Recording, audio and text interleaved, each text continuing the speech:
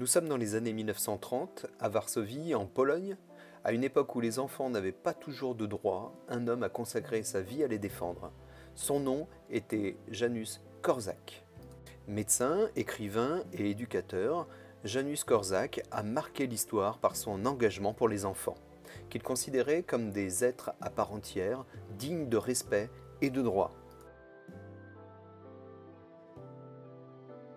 Né en 1878, Janusz Korczak est devenu médecin à une époque où beaucoup d'enfants pauvres étaient négligés et parfois abandonnés. Mais Korczak a une vision différente. Pour lui, chaque enfant, qu'il soit riche ou pauvre, mérite le même respect et la même éducation. En 1912, il devient directeur d'un orphelinat à Varsovie, où il met en pratique ses idées révolutionnaires pour l'époque.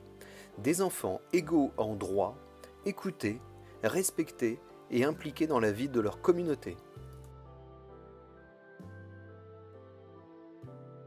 Dans son orphelinat, Janusz Korczak a mis en place un véritable laboratoire de la démocratie.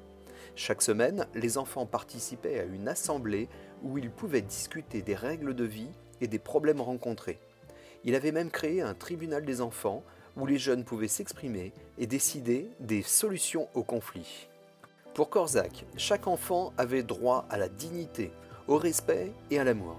Il traitait tous les enfants de la même manière, qu'ils soient orphelins, pauvres, handicapés ou malades. Il leur offrait un environnement où ils se sentaient en sécurité et valorisés.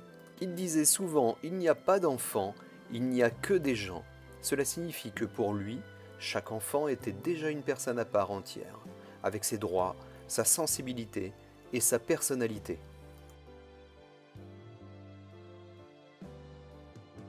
En 1940, pendant la Seconde Guerre mondiale, l'orphelinat de Korczak est forcé de s'installer dans le ghetto de Varsovie.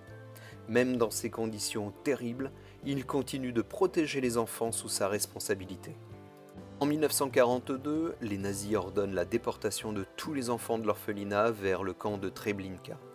Korczak refuse de les abandonner, il marche avec eux jusqu'au bout, les accompagnant dans leur dernier voyage, choisissant de rester fidèle à ses principes d'amour et de protection.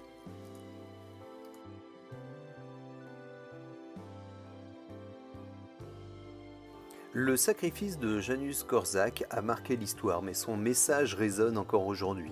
Ses idées sur le respect des droits des enfants ont profondément influencé la manière dont le monde pense à l'enfance et à l'éducation.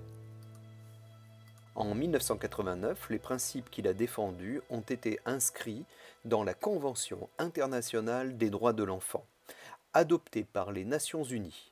Ce texte fondamental reconnaît que tous les enfants partout dans le monde ont des droits. Droit à l'éducation, droit à la protection, droit à l'amour et au respect. Janusz Korczak un homme qui a dédié sa vie à la défense des plus jeunes et dont les enseignements continuent d'inspirer le monde entier.